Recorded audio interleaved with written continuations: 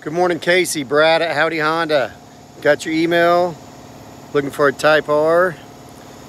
And this is not available. But at least I found one on the lot. So you can see the wheels. It's not championship white, obviously. The wing. Backside, they've got it parked. No roof for weight. Moonroof, that is. Um, but we can put a backup order on one. So let me know. Talk to you soon.